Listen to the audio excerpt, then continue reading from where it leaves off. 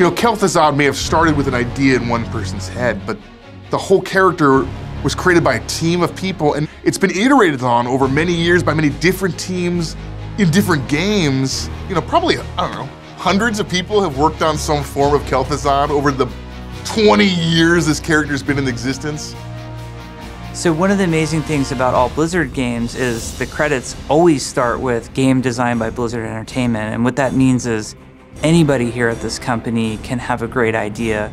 Our goal is to make the game great, and it doesn't matter where the ideas come from. So if you look at a character like Kel'Thuzad, who has persisted now for so many years, there's a great influence and love and care that's been poured into that character. And I think that's one thing that's very special not only about Blizzard, but also about Kel'Thuzad himself. One of the things that we say is it takes a Blizzard to make a Blizzard game, and that's the spirit of all of us contributing to everything that we can. And I think that's true on you know, any individual game. It's true on World of Warcraft, it's true on Overwatch, it's true on Heroes, and it's certainly true on, on Kel'Thuzad. Translating a character from one game to another is a, monumental challenge, and it was so much fun to reimagine Kel'Thuzad for Hearthstone. I can't wait to see what the Heroes team reimagines Kel'Thuzad as for Heroes of the Storm. There is no achievement for losing to glue. Being the team that worked on Warcraft 3, it's very important for us to do a great job on Kel'Thuzad. He's such an iconic character, this iconic villain, that players from many games in the Blizzard universe have experienced. And so being able to bring him into our game and do the kind of hero's take of him is a special moment for us. Kel'Thuzad is an iconic Warcraft villain, and it's incredibly important that we do justice to that character, and we can't screw this up.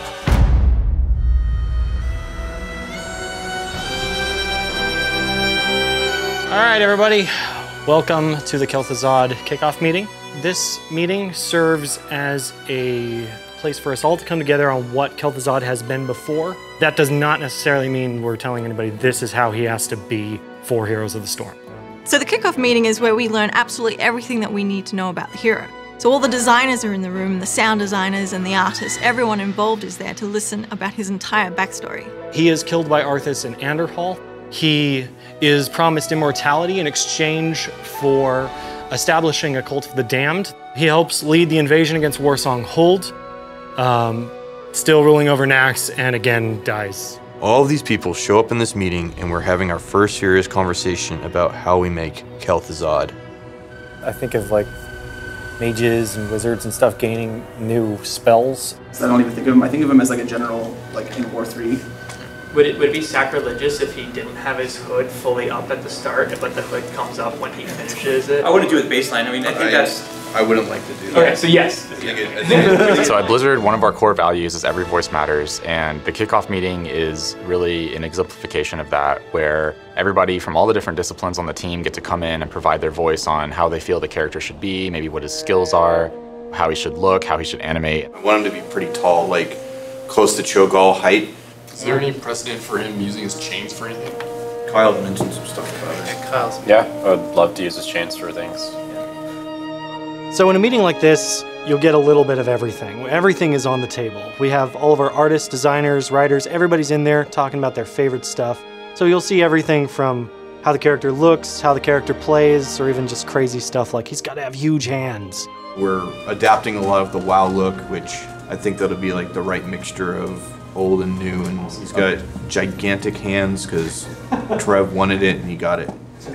We love KT too. Like we went through the same motions, we talked about the same things, we agonized over the compromises to make this work in a game, and those compromises were always checked against it has to be perfect, it has to be Kel'Thuzad.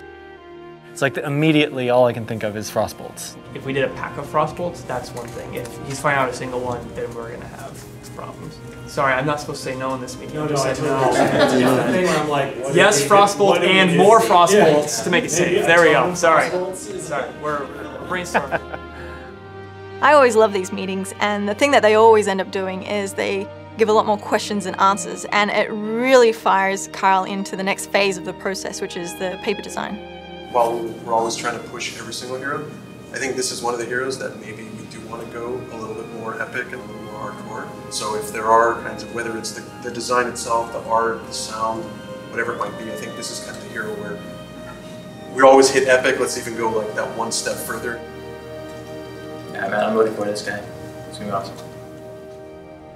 So the kickoff meeting was great. Everybody had a ton of cool ideas.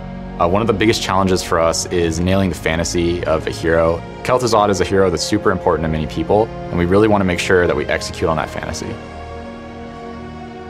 Hitting the fantasy of a character is, again, really important, especially for Heroes of the Storm, because Blizzard's lore and the characters, they run so deep. They've had so many years of development, and everybody knows and loves them. The anticipation is extremely large for Kel'Thuzad at the moment, and we're super excited to actually start working on him because we, we had to find the right time for him, and we finally found it. And yeah, every census that comes out for every player that we see that wants a hero, Kel'Thuzad is always at the top of that list.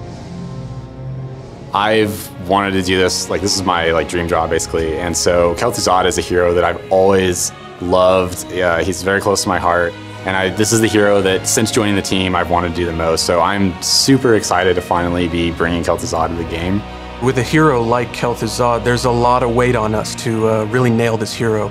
But I have very high confidence in this team because they have been so successful with so many other iconic Blizzard heroes that the community has really loved. It's finally happening! Kel'Thuzad is almost real. Uh, Kyle's gonna put together his first real stab at the character. It's what they call the paper design. Uh, it's his first shot to say, hey, this is what we think Kel'Thuzad is. It Should be awesome to see what he comes up with.